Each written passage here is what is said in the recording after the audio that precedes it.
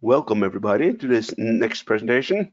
It will be uh, regarding CorelDRAW by Christian. And uh, my name is Finn and I'll be, be your organizer. Hello everybody. Um, as we can see, my name is Christian Schmel. I'm working from Germany as product manager technical graphics at Corel and I'd like to welcome you to this presentation. Today we are talking about uh, visual technical communication, the CorelDRAW technical suite, and we'll have a look at some scenarios.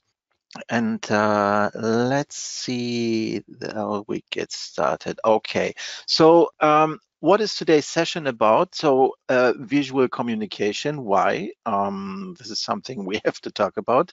And um, there's a centric pr uh, process where all data comes together. We will have a, a, a quick look on that as well and a small introduction into the CorelDRAW technical suite, what it is and what it consists of.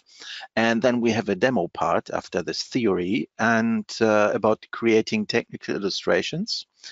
Um, this is a centric approach with leveraging CAD data, engineering data, and generate technical illustrations and visual information from that and uh, possibilities we have in that process and uh, the refinement of the imported data. So um, why do we need visual communication? Um, it's it's very obvious, but uh, there are very uh, specific reasons to to go for a picture or a graphic instead of text. So um, if you're just uh, confronted with overwhelming text, then uh, that can be very boring. And um, yeah, if it's important information and and warnings and stuff, um, yeah, your concentration might suffer under that. So it's always good to directly point on something. And what also is very interesting is uh, you can show the situation instead of explaining it and uh, the user gets it right away. Uh, you can show the contents of the product, what, what's in the bag that you uh, purchased, so you can be sure that everything is contained. You can reduce pages of your documentation uh, by um, replacing text with graphics.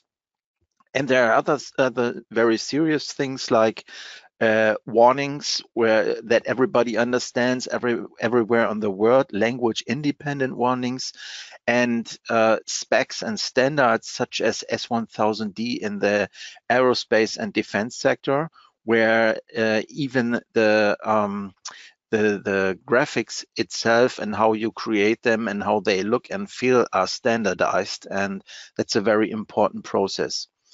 And sometimes it's just better to have a picture like an arrow where you can just uh, uh, show where stuff goes in and out. And um, there's a nice thing I always have in mind is uh, how to do up a tie as text. That's very, very comprehensive text. And so if you have a picture, how to do that, that's much easier.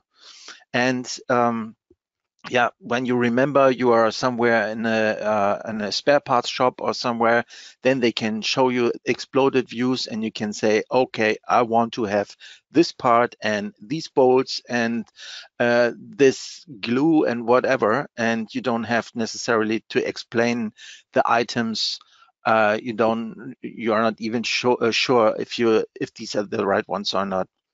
And the last but not least is um, clicking on uh, pictures in the internet is way more easier uh, for ordering spare parts or get more information on that instead of reading through endless text. Okay, so that's the, the, the most important things. So let's go back a little bit in history.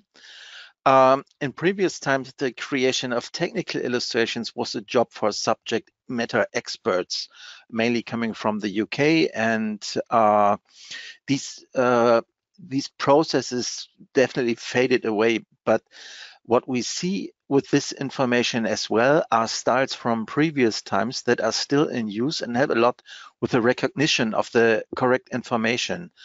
One of the usual techniques is the use of thick and thin lines, as we see here.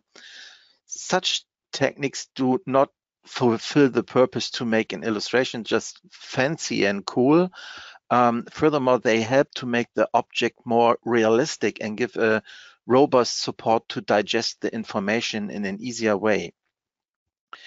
Um, these techniques have the purpose to expose the technical information in the best and quickest understandable way to the target audience. And we still remember that we are talking about submitting distinct information and not just showing a picture.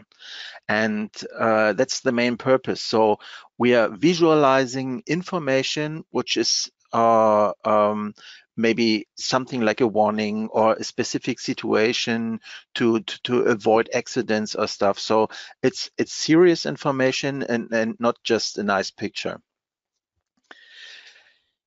If we have a look at a company having a tech, tech pubs department, we see a rich amount of various tasks and that they um, that are connected with the creation of information.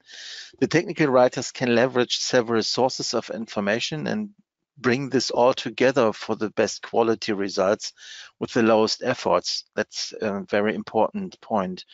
Um, on on top, we see the indeed most um, effective way to obtain images using existing engineering data.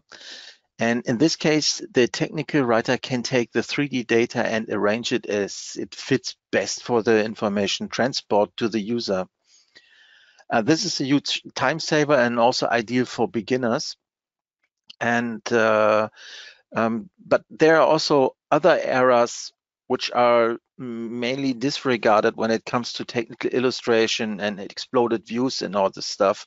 And uh, this is worth having a look. So um, also with photos of situ uh, situations um, uh, or other parts, there are a lot of files which can be used directly with some final touch-up. Removing backgrounds, shadows, and adjusting contrasts may be enough to use a photo right away. So you need a solution that can handle that as well. Also, technical information must not always be an exploded view or two bolts with an arrow.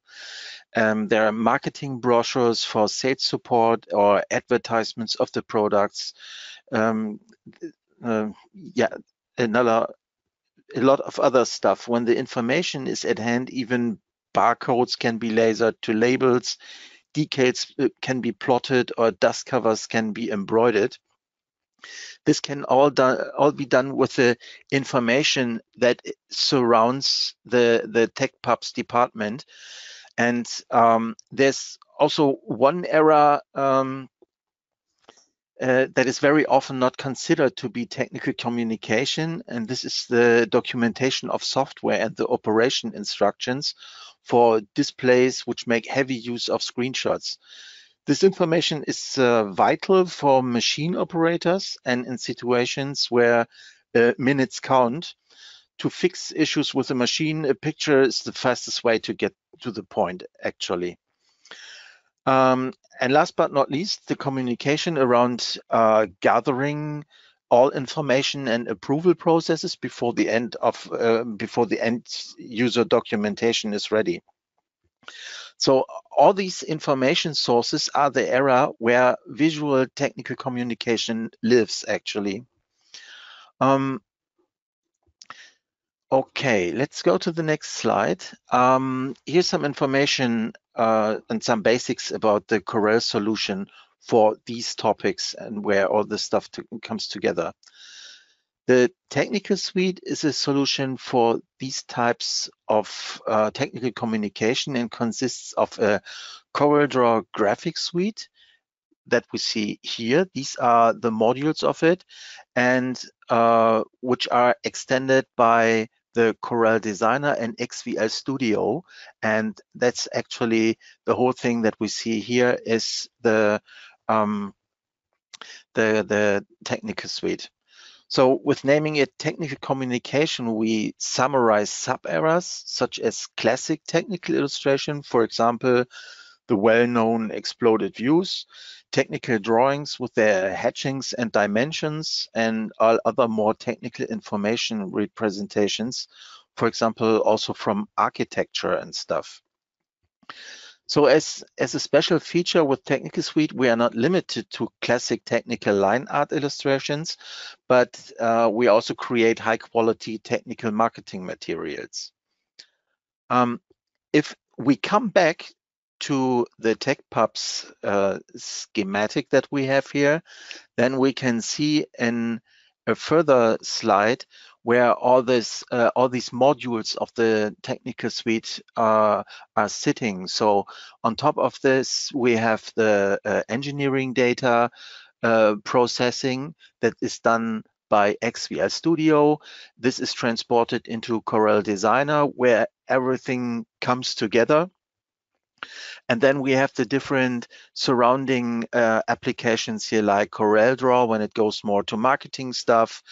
Uh, you can administrate your fonts with Font Manager and do your screen captures and stuff and work on your bitmaps with uh, Photo Paint. All this is contained in this, let's call this a workbench solution for all the information processing that you uh, that is necessary to create visual communication. So we actually have three areas where we are processing information and data. This is importing data, all kinds of data. Then we all put this together here in this, what I call the, the hub of the whole thing, Corel Designer, where it all comes together. And of course, then we can export this to, um, to different formats and different systems and so on. So let's, after all this theory, let's uh, jump into a demo part. Um, just some corrections in here. Okay, so I'm switching back to a working file. By the way, that was the presentation mode of uh, of Corel Designer. So uh, that's very helpful when you have information and you want to present it. Then you don't have to change the software. You just go to the presentation mode and that's it. So uh, let's get started with some scenarios. There are tons of scenarios, but uh, let's talk about uh, a three-page artificial document where we think we want to have maybe a cover page and a little spare parts page and maybe some some information about warnings and situations. And this all shall be engineering data centric and that we see how we are handing over the information and where we add information. There's one very specific point. Um, if you are using CAD systems, then you can extract a lot of information, but technical illustration and visual communication needs more beyond that. So you have to add more, uh, more little details, more information and stuff. So actually engineering data is always the start for more to step into technical communication. So um, if we start with the, um, so first of all, what we see here is Corel Designer, where we can do all these drawings and things. It's uh, it's just a drawing um, program in apostrophes, but there's more, and we will see later on how we are working on the data. And as promised, we're starting with XVL Studio, which is part of the suite and where we import CAD data. So I didn't prepare uh, something which is already pre-imported. So let's go to the uh, import process. The important thing is here, what we see is there's a lot uh, there are a lot of file formats that can be imported natively. So we have uh, CATIA, Inventor, uh, SolidWorks, Solid Edge and stuff, and we can access this stuff directly and uh, do not have to use intermediate file formats like uh, STEP or IGES to, to get to the information. So we have a SolidWorks file, native SolidWorks file in here that we want to open right now. That will take some seconds and it's an assembly that we open and um, this processes some seconds and then the um, the technical writer can use this information right away. It's important that the writer or the illustrator can do this by himself without distracting engineers to say, okay, can you turn it like this and this, and then extract this for me or export this for me and, and do this and that. And um, it's, it's very important to have the separation that the users don't distract themselves, uh, uh, each other. So after the data is read in, we see the 3D model. Um, and of, on one side, we have the assembly tree with all the parts, and on the other side, we have the model, and we can click either on the uh, parts in the model, then they are highlighted here, or vice versa, and uh, click where we want. Okay. If we now want to start processing this data, then uh, I see that my data is upside down, so I can just click on the top level here and move this around. It's very easy. And I give this a 180 degrees and execute this and that's it. So now it's the, the way around. And we want to have the inside part here. So if I click on the tire, then I see that there's a sub-assembly and I just switch this sub-assembly off and I want to have the guts of my of my assembly here. So we're working with this bunch of parts. And that's the first thing we do. That's the, the easiest thing. Um, once we arrange the uh, stuff as we wanted to have it, um, then we can just switch some more things off here. Just make them invisible and hide them. Okay, and we want this in designer. So then we have a button here that we can send it over. There's a page that I have set up on the A4 format, and we can zoom this in a little bit here. Okay, and there are some details, and we can have a look.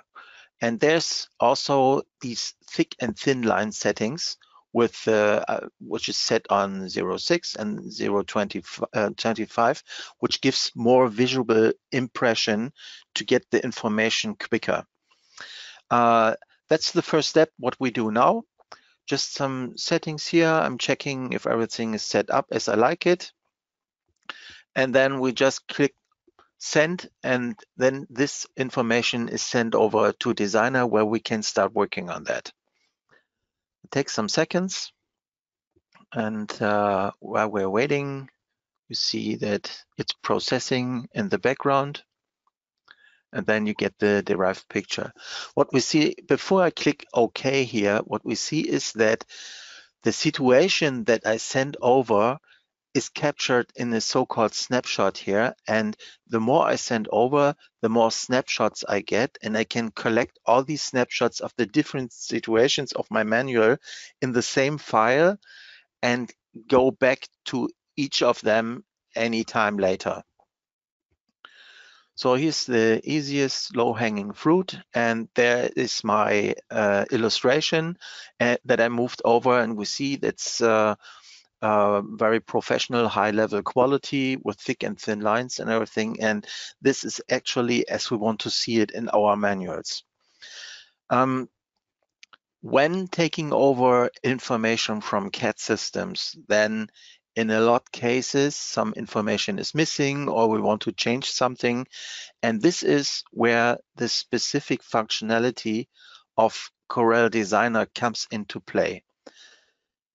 Designer has the special thing that we can, as I shown earlier, we can draw all these uh, little elements like rectangles and, and circuits and stuff. But one of the specifics of designer is that we can work in the perspective as well. So we move the CAD model over in isometric and we can switch designer to isometric as well. So to do that, I show you this little cube here. This cube actually represents the orientation of this model that we have imported. And when, when we switch on a grid, then we can see how this changes. So, okay, this is the flat grid where I can draw the rectangle. And if I switch now to different views, then you see that the same rectangle gets perspective. And so in that case, by clicking on these planes, we can we can easily draw a box or whatever and uh, change the diameters and, and, and whatever. Okay. So what we see here is, I'm switching off the grid again, so then it's much more clearer. What we can see here is uh, one very famous thing is that the the threads are missing. So that's uh, sometimes the threads in, in CAD models are just a piece of information and no physical geometry. And so this is where we can do a correction in, in Designer without touching the 3D model. For this, I'm switching to a thread tool that works like that. And I can just move over here to draw over the bolt and just drag it in there and switch off the borderline and then I can still change the look and feel of that thread that it's easily recognizable to be a thread and not nothing else. We can move it here with the arrow keys on the keyboard like we want. We can even copy it over to the other bolts as we like it and do all, all our small corrections here um, as we want.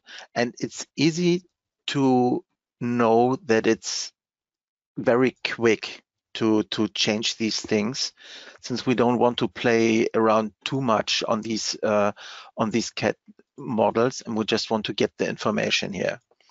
Okay, so we can change the, uh, let's see, okay.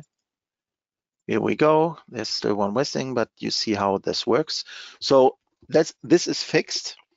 Uh, now imagine you want to add some details to that, some final touch up for for these orientations or stuff.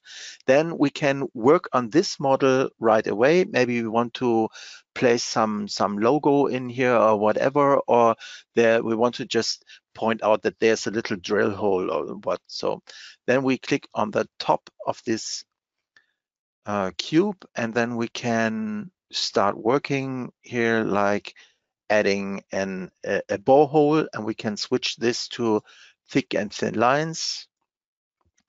And we can even move a copy of this, let's say one millimeter to in the Y axis, one copy, and here we go.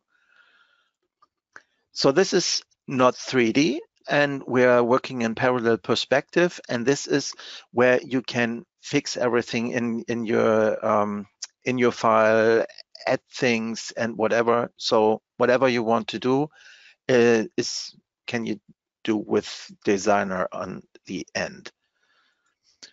There's one thing, uh, as I said, this is the, the, the cube is the representation of the orientation here. So for this situation, it's very good. I was placing a, uh, um, a bookmark for this.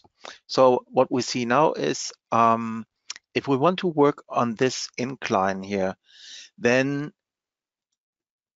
my ellipse doesn't really fit. So I have to orient this uh, cube on this incline. So that's a, that's a very nice detail to show. Uh, just to highlight this, I'm putting in a smart fill. So we want to work on that plane here.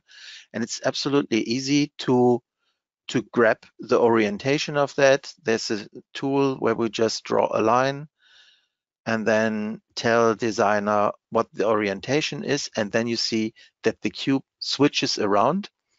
And here we can set a new projection bookmark like uh, caliper one, for example, and place it here.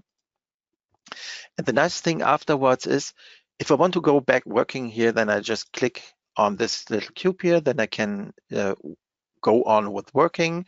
And if I want to go back to that incline here, then I can just click on that bookmark and uh, the orientation switches to the next one.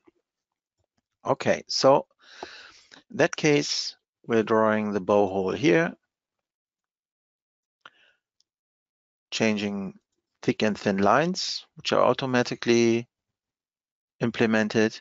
And we do the same here in the y-axis in this orientation. And uh, just a second, cut the superfluous stuff away. So, and in that way, we can easily work on our uh, illustrations that we uh, imported from the engineering data. Um, okay, so much for that. Here we can switch off the bookmarks that we don't see them. And uh, that's it for now. Okay, so if we go to the next page, uh, we will come back to that later here. But if we go to the next page, we also use the, the CAD data. So we're switching back to the situation that we have here. And now we want to create a little exploded view.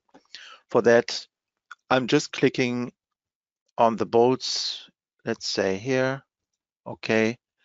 And I want to have this half of the caliper as well. And we're doing a move again, and we're moving out this part.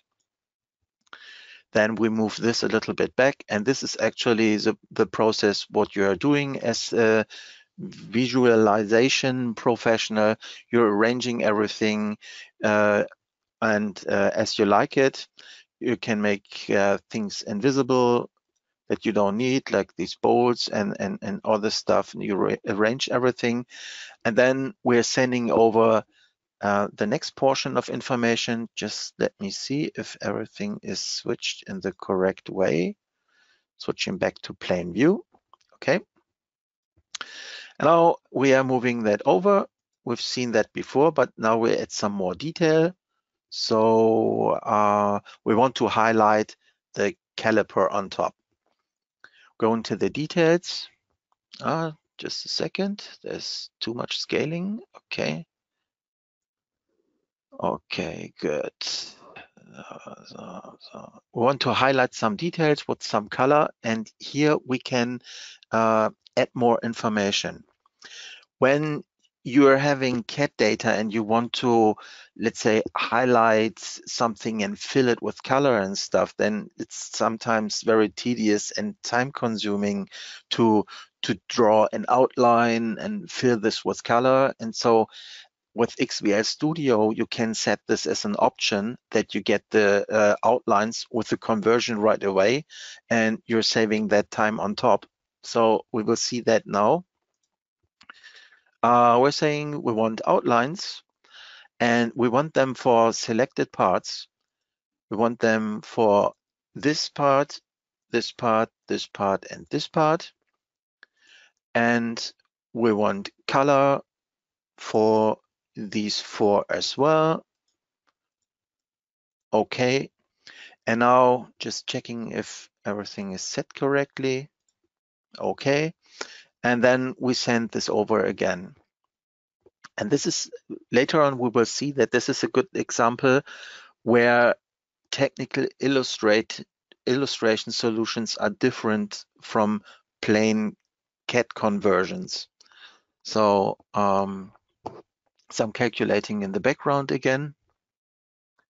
And then we start working on Designer on the distinct information that we want to submit to the to the viewer of the document. Okay, so we put the thing in here and now we have access to the different outlines. For this, I'm switching to the objects tree. And here we see that we have access to all the individual elements. And uh, here we have the placed file. And for that, we may want to change the color to highlight the stuff. We have direct access since it's it's vectors and we can uh, touch uh, every single element. So we do the highlight where we want to say, okay, uh, look, dear uh, customer, these are the things you purchased and this is the stuff that you already have or the, which is in a different package. And if we want to make this a little bit more clear, then we can either figure out where our parts are here, or we can drill inside the elements and uh, select them with the cursor. Once we have them selected, we can change the, the color, maybe the line arts to gray, that this is more, uh, that the information is clearer. And this is what I meant earlier. You're just playing with the uh, with the reception of information and not just showing a picture. Once you are done, you can uh, export this later on for your publishing systems uh, and things and um, derive all the information. Okay, so um, let's switch to the next scenario where we say, okay, now we have something, okay, we have something which is maybe more technical information. Then we have something which is more, uh, yeah, visual information with, with color and stuff. And now we could think about adding a cover picture, which is a little bit fancy, uh, technical, fancy marketing material. And uh, this is also something where we can start um, in the CAD environment and just uh, take a different uh, approach. So we are now still in this uh, snapshot that we just created. And here's the example. If I double click on the initial snapshot, then I'm in the view again where um, where the stuff is, is not exploded and we can create a new version of this and then we will later on have a new uh, snapshot. So um, we want to have this in, let's say, in a color blue. And then we switch this to blue and go to the colors and take this sky blue. Okay. Good. So then we want to add maybe some transparency. It shall be a little bit catchy on the uh, on the cover page. So um, we want these two parts shall be clearer as the other stuff and uh, we select those and we reverse the selection and then we set apply a transparency to all the other parts now we can see all the inner things and, and, and all the details. We say, okay, that's how we want it. And uh, we move this over now to, to designer again. Um, okay. Same process, but different settings. Want it in that way and go to the details again. And here we don't want outlines but we want to export the images which, which look a little bit like a rendering. And then we have set up everything and then we send this over again. And that's the nice thing. You arrange everything in your 3D world and add the details and attributes like color and you, you cut stuff away or delete things. And then you have all the flavors of visual communication and, and expressions. And you can uh, play and work with the data as you like. And uh, it's not that you get something and you have to make the most out of it it's uh, active playing with that. Okay, good. So now we place this in here. So this is actually a very different display as we have here, but it's still the same data. And then we can add some, let's say, to give this a little bit more context here, um, give this a, a, a background with some grid in there, like that just that you see what is possible with with designer later on and what you can add on top. So let's take a grid here, which is too fine. We turn this 90 degrees, set this to 300%. Okay, and then we can take our model here and move this on top and maybe we give this rectangle, this this web in the back, just a little flavor here, and then you have your cover page where you can display everything. Maybe you can go back and give this a little bit more uh, dramatic drama. So you add a black background and all these things. So that's actually the marketing like stuff that you can add. And um, maybe we remove the transparency again. And in that way, you get the cover page for your, let's say, dry information. Okay, so now we have the, from the same data in, uh, yeah, let's say 20 minutes, we created very different, uh, very different uh, mm, pictures and images. And uh, let's see where we go next. This is all information that you can print, send around, make PDFs or uh, put them in the web. And uh, so let's stay with the web and uh, we say, okay, we want to have this information on our website.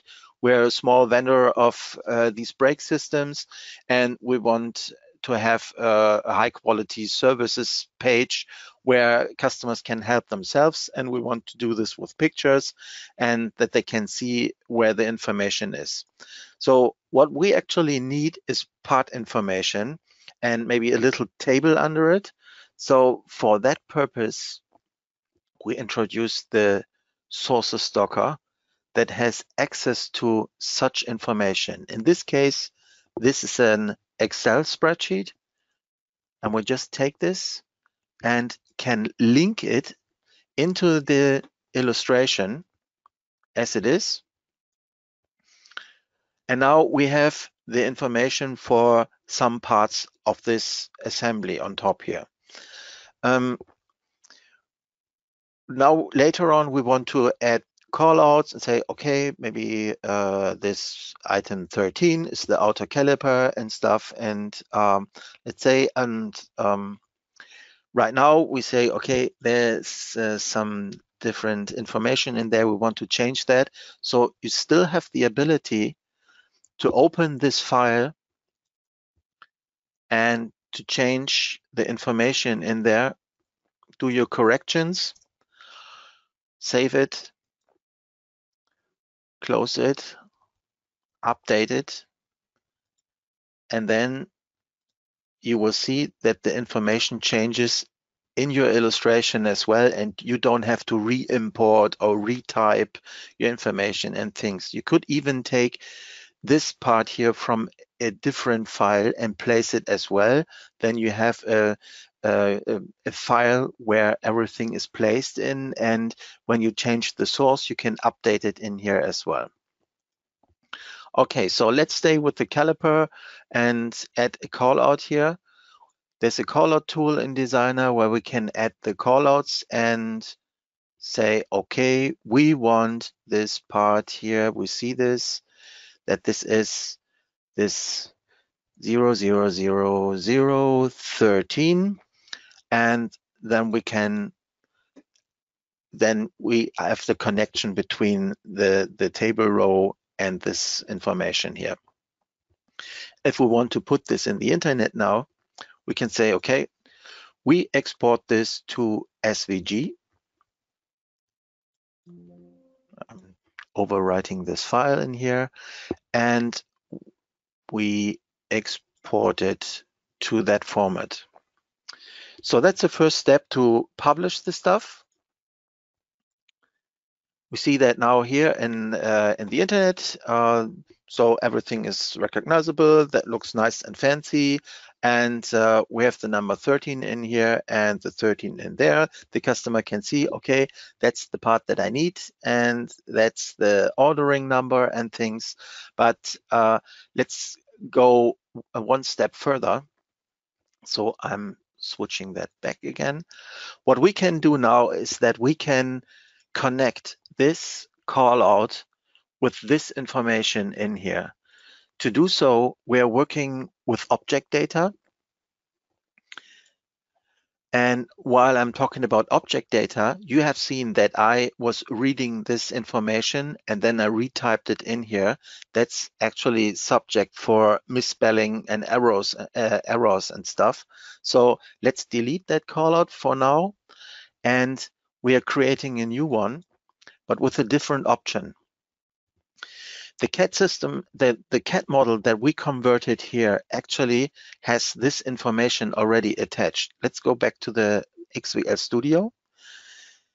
When we have a look, let's say, okay, we're going back to that initial thing here. And when I make a double click on that caliper, then we can have a look into the attached information. And here actually we see that there are different entries and just different criteria. And there's also this part number. So the information was here and it's still there. When we converted the the model over to designer, then this information was preserved. And when we now switch to the object data option of the callout tool, and we point to that element and drag the callout out, then you see that this information is still attached to the parts and I can select the information that I want to display, select it, deselect all other information, click apply, and then this uh, this information is automatically attached to to the callout. And so um, it's it's much safer to do it that way. Otherwise, I maybe uh, I'm I'm having misspelled stuff. I'm I'm missing a, a, zero in there or type of 14 instead of 13. And so that's a very safe uh, way to get the information into your illustrations. Coming back to the point that we want to connect this stuff now. So we're having here some very nice functionality now with the with the current version of the uh, designer. There's an interactive ID, so I changed that to be 13 as well. Must not be, but uh, can take actually any active ID. And I want to have a mouse over fill uh, with a specific color. Um, let's take a color code of red I'm copying that to the clipboard. And that's actually all I need to know as an identifier for that callout. You will now see why I'm doing that. Even if this table is linked in, I can select the individual cells and access them. And I'm doing the same here as well. I'm adding the 13 and the color code for fill. Can also add transparency and, and all other things. And that's all what I do for now. And I re-export this to SVG again. Overwriting the file using object data. And that's it. Then I'm switching back to my browser and I'm doing a refresh. And now you can see when I hover over the um, callout, then the table row is highlighted and vice versa. And so it's actually adding two pieces of information and on the export side, designer automat automatically detects uh, this couple and uh, uh connects them with uh, code in SVG and you can take this from your illustration or print it uh, or whatever, but you can also put it in the internet and um, go from there and make this interactive. And that's a very easy approach instead of just fumbling around in the code and adding everything yourself. So in that way, it's just a few mouse clicks and you have added your uh, information. Um, there's other stuff as well. Um, let's say we want to add some logo or things, then you can import your logos. That's no big deal. But what you also can do is that you I have to move this away here. Okay. Um, you can just project this in isometric and put this in there. Do a little bit scaling and you see it's all in perspective, in parallel perspective. And then that's a very easy deal as well. And that's that's the message that uh, the work beyond importing CAD data or just grabbing CAD data and displaying is there, there's a lot of stuff to do and that needs to be done very quick and without uh, bending over backwards uh, since time is money and uh, you don't want to play on your illustrations. You want to have your results and and get things done. So coming back to the slides just let me switch off the dockers here. There we see that we have a, a huge load of uh, files, file formats that we can import and export, which is also vital to uh, to the information consuming process. And we have all the uh, abilities to um, to import uh, different native CAD uh, file uh, formats and, and intermediate formats like STEP and IGES and DXF and whatever.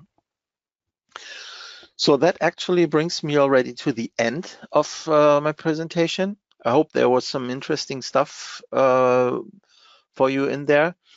If you have questions, um, contact Alfasoft or me directly. Uh, I'm, I'm sure you will find a way.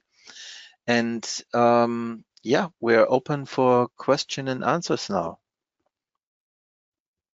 Thank you, Christian. That was a very nice presentation. Thanks. Um, yeah, we, we do actually have a couple of questions here for you. Yeah. Uh, that was sent in during your presentation. Uh, and people can still write in questions in the in the questions panel if they want to. Uh, so first question here is, um, what is the difference between CorelDRAW Graphics Suite and CorelDRAW Technical Suite? Um, actually, the um, the graphics suite is a subset of the technical suite and the the main difference is that what we can see here is that we have the XVL Studio that can handle 3D data and import it. And we have on top, we have the Corel Designer, which is very similar to Corel Draw, but has all the abilities to work in parallel perspective, has additional dimensioning enhancements and stuff, and goes more, uh, goes beyond creating graphics and more in the technical direction. So that's the uh, the actual uh, difference. The difference is exactly here. Okay, yeah, good. So uh, next question, it's um, uh, what does a CorelDRAW subscription include? Um, Product-wise, actually everything. Sorry if I misunderstood the question, but uh, yeah, no, I'm, I'm I'm not entirely sure, but uh, but yeah, that that's a quick answer. May, yeah, maybe uh, you can purchase and subscribe, and uh, it's both the same content, but uh, it's uh, it's different methods to to pay. Okay, so yeah, you have perpetual licenses as well. Yeah. okay. Exactly. Yeah. So people can can choose. Uh, next one here. Um, I don't have an internet. Um, if I don't have an internet connection available at all times, how do I use um, product features and can I access online content? Uh, yeah, there's a way. We have a so-called uh, deployment guide. That's a document that describes how to install the software in sensitive environments, especially in aerospace and defense.